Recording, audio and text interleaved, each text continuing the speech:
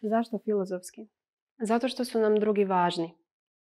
Mi na fakultetu organiziramo besplatne tečajeve hrvatskog jezika za azilante i tražitelje azila, humanitarne akcije, akcije darivanja krvi, a naši su studenti i tijekom korone snimali mrežne lekcije baš za vas, srednjoškolce.